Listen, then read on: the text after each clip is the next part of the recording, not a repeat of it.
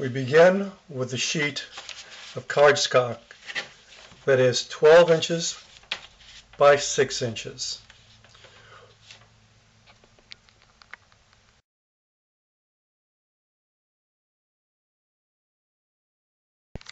From this piece of cardstock, we will cut six rectangles. The measurements of the rectangles are 6 inches by 1.5 inches for the two outside rectangles. The larger rectangles in the center are 4.5 inches by 4 inches, and the smaller rectangles in the center are 2 inches by 4.5 inches.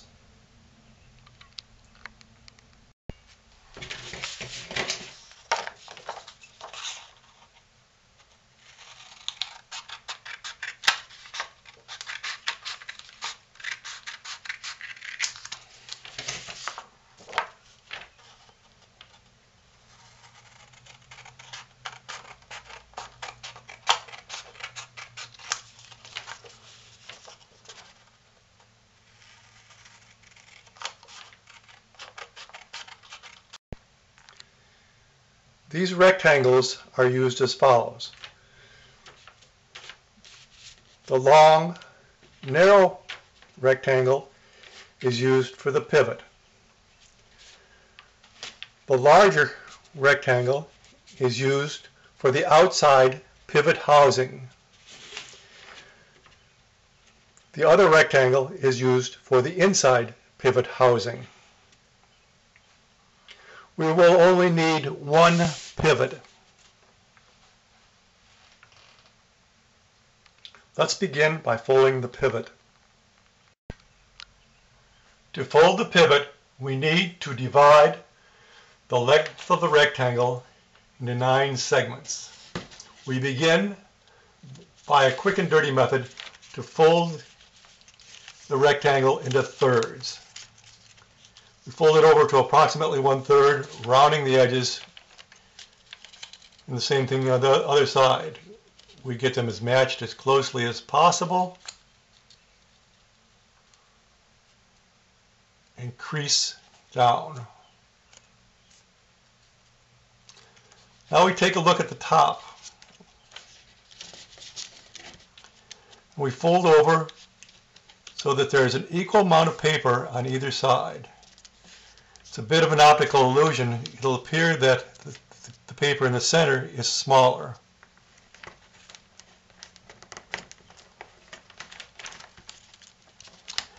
Again, the goal is to have equal amounts of paper on either side. When we fold this back to the center line, you will find it is divided this nearly into thirds. If it is off just a little bit, it will not matter too much. So that's one, two, three. And we use this, these lines now as a guide to make the remaining folds. We fold over on this line, we fold over on this line, and we have one, two, three, four, five, six. We use the last three lines as a guide for the, the remaining folds. And we have one, two, three, four, five, six, seven, eight, nine segments divided by eight lines. We want the lines all folded in the same direction. So we fold all lines over in the same direction, creasing tightly.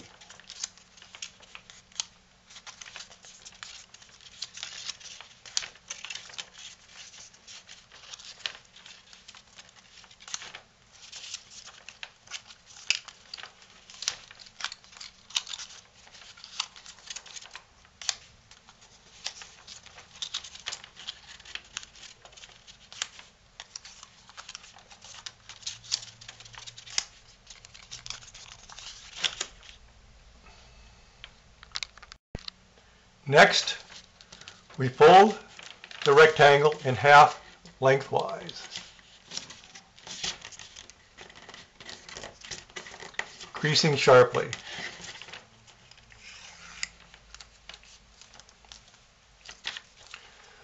We want to refold the previous creases across the entire model, always going in the same direction.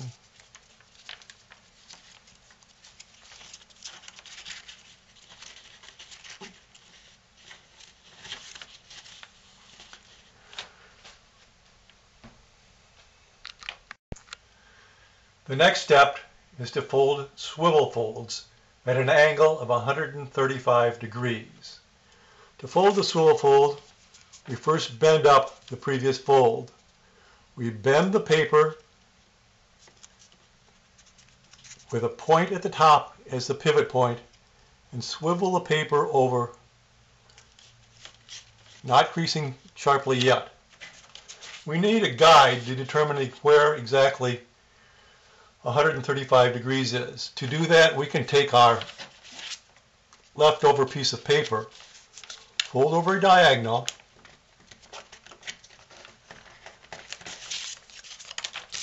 and this angle will be 135 degrees. Now we match the two edges to the paper underneath, making sure that we have the corner sharply located and we crease it down. This forms our pivot fold of 135 degrees. Take a careful look at the paper at this point.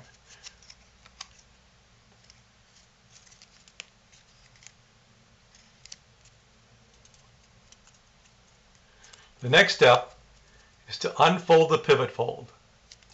Open the paper Locate the line that is in the center of this small chevron. Pinch the paper and fold back along the lines of the pivot fold. We are going to repeat this process on all of the segments.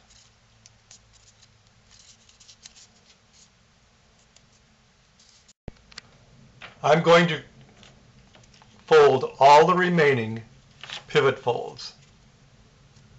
Notice the corners here on the unfolded edges. You want to keep that corner sharp as you can, using your guide to see if you have 135 degrees. Make the next pivot fold.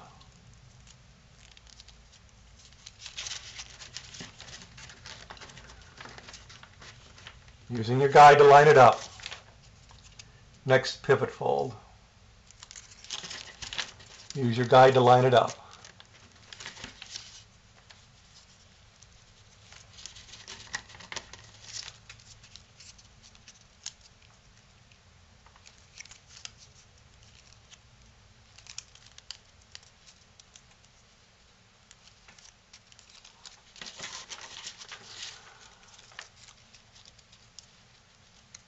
You've created all the pivot folds, you should have an octagon with a sm very small circle in the center. You want to make one more little fold on the end that matches the folds along the other sides.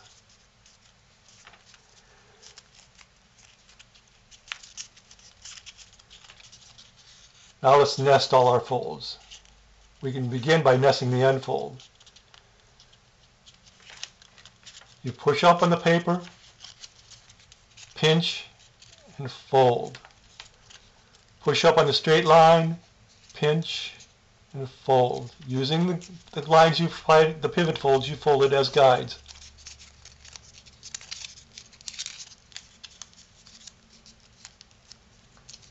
It begins to shape around in a circle.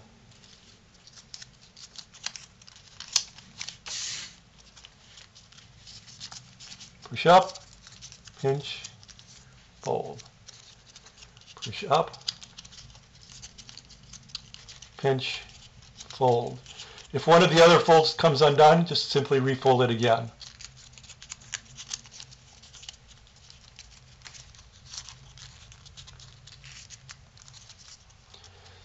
The last couple folds will be made above the folds you've made previously.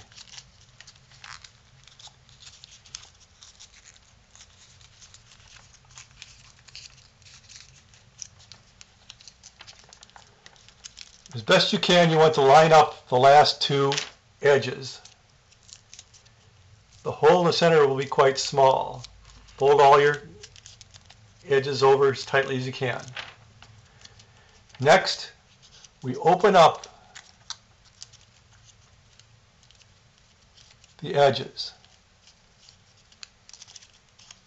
We nest this V shape into the V shape of the last fold so that they come together.